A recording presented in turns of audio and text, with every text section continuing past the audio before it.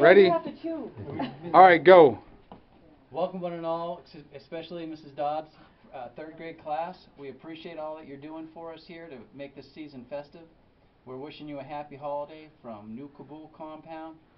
Thanks again. We appreciate uh, your support. Happy holidays.